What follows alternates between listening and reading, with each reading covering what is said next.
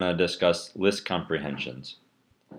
So the idea is basically the take the normal for loop that you've been working with here and then transform that into a much more concise representation as a single line in square brackets where we have uh, the keywords for and in.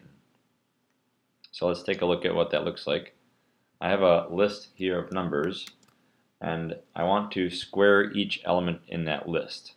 So the way that I would normally do that with a for loop is to create a new list and then iterate over all the elements in the list of numbers. I'm going to give each one of those values the variable n. And then for each element in the list, I'm going to double, or I'm going to square the number and then append that result into my list. So when I do that, I get back the expected result of 1, 4, 9, 16, and 25 from the original list. So the way that we would transform that into a list comprehension is we use the, the square brackets. We want to get an output of a list. And we're using the same keywords for and in, except here the thing that we're doing, the n squared, goes on the left-hand side of that statement. And so it's just going to do this for each element in numbers. So it's pretty straightforward to read once you get used to list comprehensions. So the result there is the same. Now a slightly more complicated version of that is the conditional list comprehension. There we're doing the same expression for item in list, but we've added the additional keyword if. That's equivalent to maybe something that you've seen before of having a for loop and then an if statement and then an expression. It's the same operation.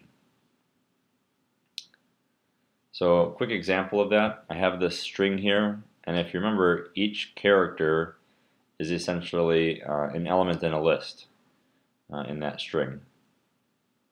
What we're going to operate here is we're going to we're going to take each element uh, when or for the that element being in string if that value is a digit.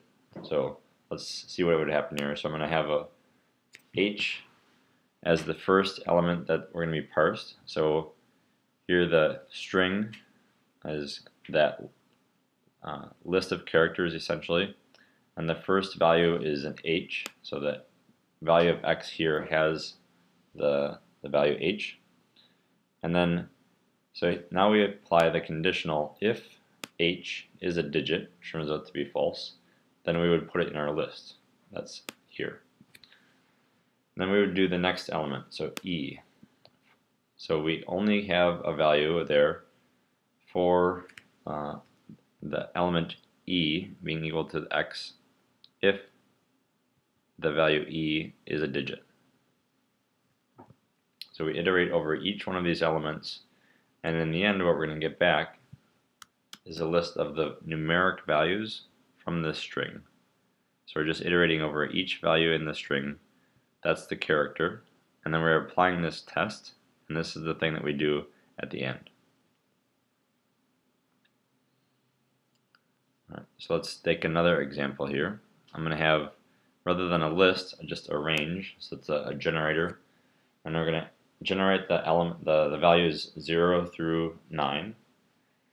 And that's, the, we're going to double each element, but only if the condition is met that the value divided by 2 has a remainder of 0. So it's a modulo operation. So we're going to take the values from 0 to 9 and we're going to double them when they are even. So here we got we originally had the values of 0 which got doubled because it was even but it's still 0. Then the next element that passed this test was 2 and then we doubled 2. And the last little thing I'll leave you with here, uh, this is to me a little bit more complicated than I'd like.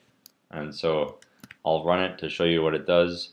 Uh, it's a two nested for loops in a list comprehension. And this gets a little bit unreadable. So you can sort of see we're going to do this operation when x is of values 1, 2, and 1, 3, and 5. And then there's a nested for loop. So we have two values here, x and y. So the, the way that we're going to think about this is the outer loop is this first statement. So the first, the outer loop is going to take value 1, and then we go to execute the inner loop, and that first element in the inner loop is a 2. So now we've got the values of 1 for x and 2 for y, and we're going to add those two values, which is the first result, 3.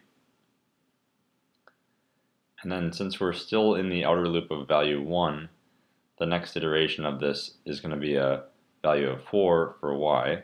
So we add 1 plus 4 and get 5. And here I've typed out all the iterations of the loop for x and y, and that's where that list is coming from. So this is a nested loop inside of a list comprehension.